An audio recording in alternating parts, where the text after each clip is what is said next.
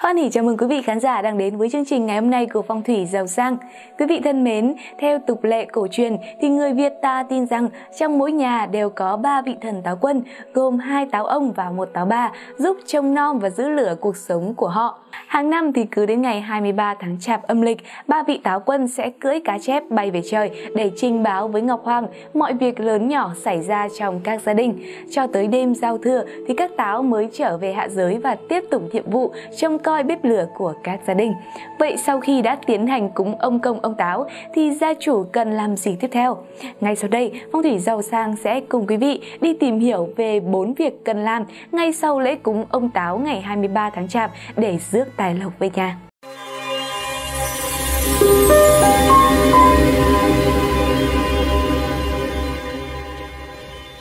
Thứ nhất là dán giấy đỏ có viết tên hoặc vẽ hình các táo trên bếp. Thưa quý vị, ngày xưa trong 7 ngày ông táo về chầu trời, mọi người thường dựng cây nêu trước cửa để xua đuổi tà ma. Tục lệ đó đến thời nay đã không còn phổ biến nữa. Thay vào đó, một số gia đình chọn cách dán giấy đỏ có viết tên hoặc hình vẽ ông táo trên tủ bếp.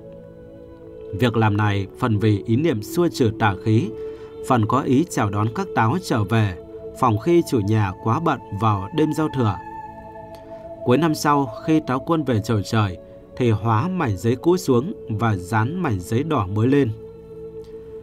Thứ hai là trang hoàng lại nhà cửa. Người xưa tin rằng cuối năm lau chùi, dọn dẹp đồ đạc, thải bỏ đồ vật không cần thiết là cách để xua đuổi tà khí trong nhà, mang đến cho không gian sống, nhất là khu vực bếp, nơi gia đình thường xuyên sinh hoạt, quây quần, một nguồn sinh khí mới.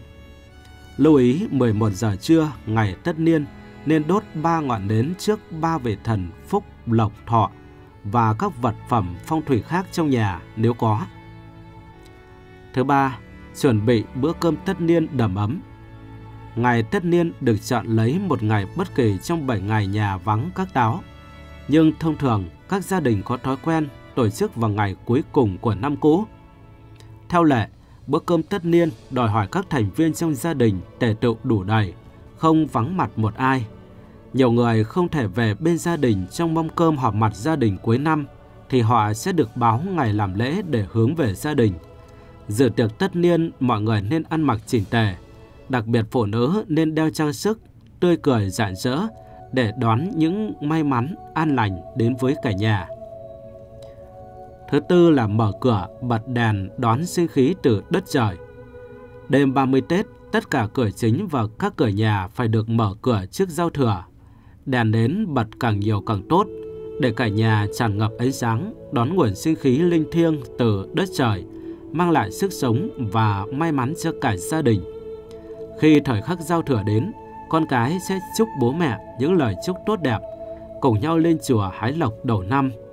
Ở nhiều nơi, những ai làm ăn đều chọn đêm giao thừa để xuất hành, với mong ước mọi chuyện sẽ gặp nhiều thuận lợi trong năm mới.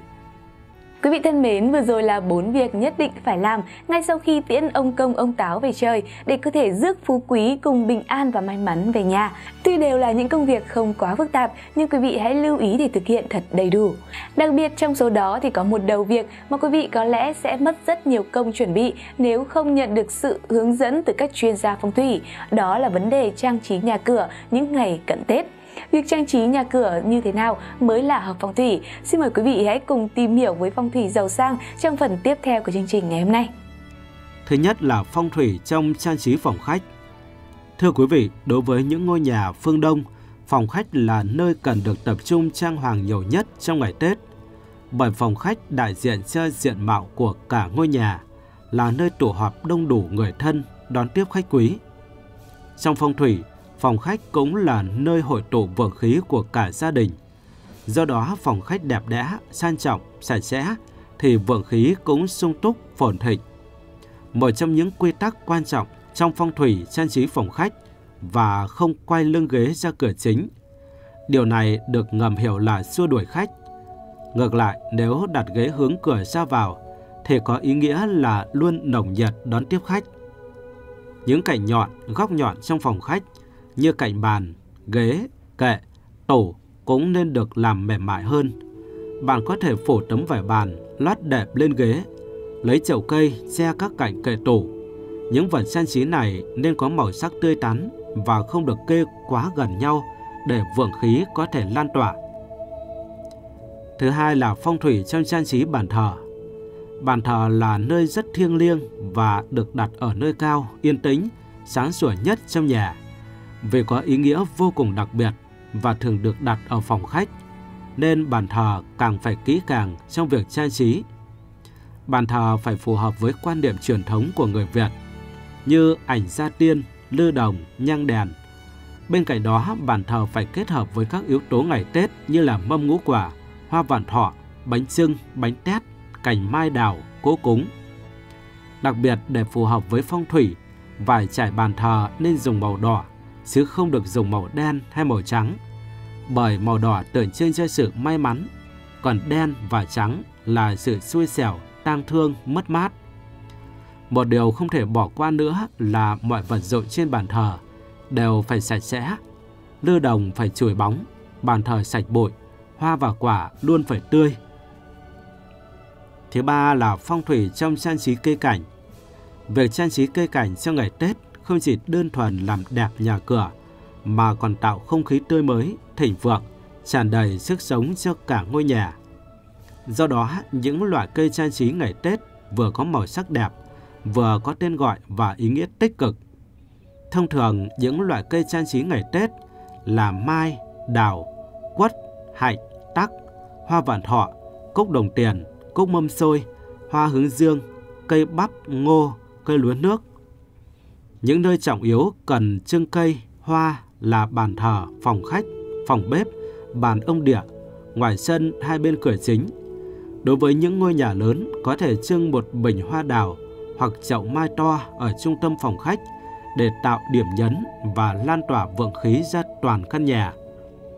Những loại hoa trang trí ngày Tết nên có màu sắc sặc sỡ, có tính dương như là đỏ, vàng, cam, hồng. Hoa màu trắng là điều tối kỵ trong dịp này, về màu trắng đại diện cho tính âm. Với những bình hoa lớn ở giữa nhà có thể cắm theo 3 tầng, xen kẽ hoa lớn, nhỏ, tuân theo nguyên lý tam tài của phong thủy. 4 là phong thủy trong trang trí nhà bếp. Phòng bếp là nơi giữ hơi ấm, giữ lửa cho gia đình, nên cần được trang trí tươm tất trong ngày Tết.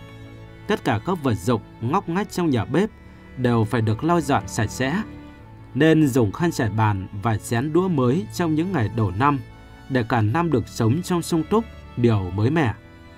Để phòng bếp thêm tươi tắn, nhiều tính dương, bạn có thể trang trí các màu sắc rực rỡ trên khăn trải bàn, mâm ngũ quả, bình hoa, bộ chén, tách. Nếu tường bếp nhà bạn không còn mới, sạch sẽ thì nên sơn lại hoặc dùng giấy dán tường để khu vực bếp luôn trong trạng thái sáng sủa, tinh tế nhất. Và thứ năm là phong thủy trong trang trí phòng ngủ. Thưa quý vị, theo phong thủy, buồng ngủ là nơi gia chủ nghỉ ngơi, tái tạo nguồn năng lượng tích cực sau khi làm việc mệt mỏi và là nơi mang đến sự thoải mái, yên bình nhất cho mỗi người. Do đó mọi tiểu tiết trong phòng ngủ đều phải tinh tế, phù hợp với nhu cầu và sở thích của con người – Kết hợp giữa các yếu tố phong thủy và quan niệm ngày Tết, buồng ngủ nên được trang trí sao cho tạo cảm giác ấm áp để gợi lên hình ảnh Tết xung vầy đầm ấm của cả nhà. Chính bởi điều này, màu sắc nên dùng trong buồng ngủ vào ngày Tết nên có tông màu ấm, nóng như là đỏ, hồng, vàng, nâu, cam. Màu cam và màu nâu thường được dùng phổ biến hơn cả, vì không quá sặc sỡ như những màu còn lại có nhiều sắc độ giữ được tính trầm đủ cần thiết để tạo được giấc ngủ ngon. Để không phải thay đổi nhiều phòng ngủ mà vẫn hợp phong thủy, bạn có thể nhấn những màu trên vào ga trải giường, mền, gối, đèn ngủ, tranh treo tường. Những chi tiết này có thể thay đổi dễ dàng, dễ làm và ít tốn kém so với việc thay màu sơn tường, gạch lát sàn, màu tủ, giường, bàn, bạn nhé. Quý vị thân mến, hy vọng là với những thông tin tham khảo về bí quyết dọn nhà ngày Tết chuẩn phong thủy, quý vị sẽ có thể áp dụng để sắp xếp mái ấm của mình trong những ngày giáp Tết một cách hợp lý để vừa sạch sẽ, vừa tạo ra không gian Tết cho gia đình, đồng thời giúp cải vận cho một năm mới giàu sang phát đạt hơn năm cũ. Còn bây giờ, chương trình của phong thủy giàu sang cũng xin được khép lại tại đây. Xin cảm ơn quý vị đã chú ý theo dõi và dành sự yêu mến cho chương trình. Xin kính chào và hẹn gặp lại trong những chương trình tiếp theo.